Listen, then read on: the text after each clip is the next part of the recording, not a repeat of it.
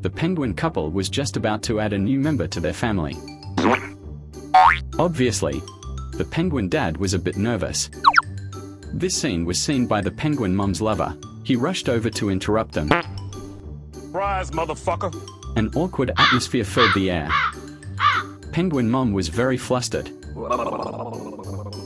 The lover was the first to attack. A fierce battle was about to begin.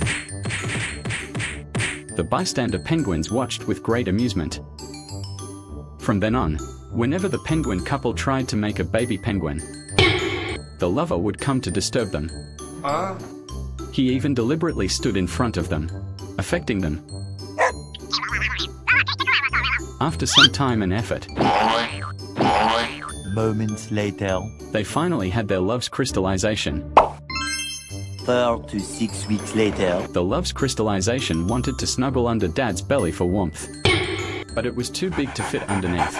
Get me out of here! Dad had to take small steps to accommodate the penguin.